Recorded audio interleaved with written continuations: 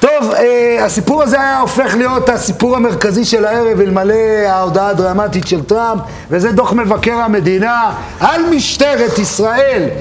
מבקר המדינה מתריע מפני ליקויים בהליך מינוי קצינים בכירים במשטרה, קיים חסר יסודי בהליך המינוי והוא משקף חולשה. לדבריו, 65% מתפקידי הקצונה במשטרה מאוישים על ידי קצינים שלא נדרשו לעמוד בקריטריונים כלשהם לין שנקבעו הגדרות ברורות לתפקיד. עכשיו, שאל לי קל הדבר בעיניכם, כי זה הבסיס לנפוטיזם, זה הבסיס למקורביזם, וזה הבסיס למה שקרה לפני שאלצ'ך נכנס לתפקידו, כשהגישו לו דוח עם אה, אה, דוח עבה ובו ליקויים של המשטרה, והאנשים שהגישו את הדוח הזה הם כרגע נמצאים בחופשה ומחכים למשפט.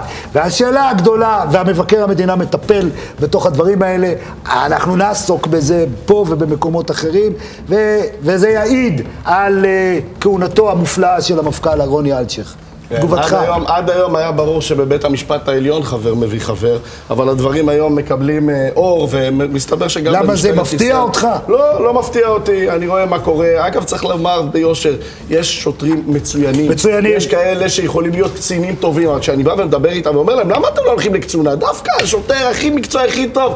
לא בראש, כי, כי הקצונה זה דבר שאני לא רוצה שוב להכליל, אבל חלקה אה, אה, זה לסאב את האנשים, חלקה זה, זה, זה, זה אתה חושב שמי שיכול ליישם... זה לדחוף את עצמך, זה להפעיל כל מיני דברים שאנשים ישרים לא רוצים לעשות את זה. אבל צריך להגיד ביושר, הדוחות, של, הדוחות האחרונים של מבקר המדינה הם כמו עץ שנופל ביער, לאיש לא מעניין, הוא די איבד מכוחו. זה מצד אחד איבד את העניין? מי יכול לטפל בזה? מי ארדן יכול לטפל במשטרה? מצד שני, אני אגיד משהו על דוחות מבקר המדינה, דווקא בעד הממסד, ולא בעד המשטרה באופן ספציפי.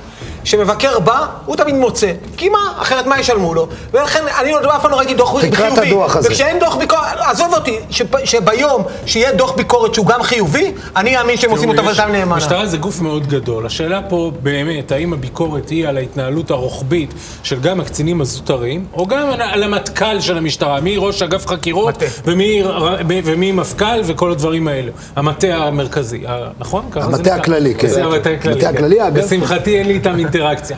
חכה, אפשר לסדר לך. הוא נוסע. מקסימום יש לך עורך דין, מקסימום יש לך עורך דין שייצג אותך. אוי, זה גדול.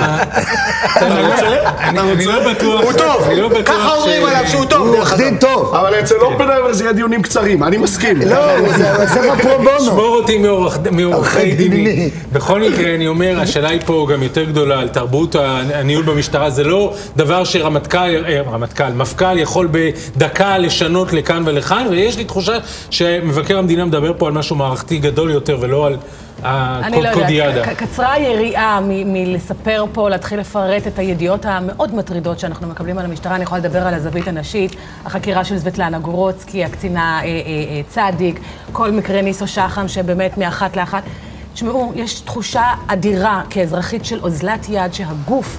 שיש לו כל כך הרבה כוח ואמור לחלוש על הצדק והמוסר והדין והחוק במדינה הזאת, מתנהל ככה. כן, אבל זה לא התחיל... אני מרגישה... לא, זה לא התחיל באלשיך. לא, אני כן אמר, ואני אומר את זה פה, אני אומר, אני אומר את זה כל הזמן. אני, אם אני מחר אחקר, אני לא סומך על המשטרה שהחקירה תהיה חקירת אמת. אני רואה מה קורה בתיקים, עזוב, תיק אלון חסן, לא צדיק גדול, לא קדוש, תראה מה השופט אומר. אני אומר לך, לא סומך לא על המשטרה, ולא על המח"ש, ולא על הפרקליטות. ואחי אני לא סומך על מה שהם עושים, ואחר כך הם מדווחים, כמו אום אל-קיעאן. בדיוק, ואתה יודע על מי אני הכי לא סומך? על כתבי המשטרה.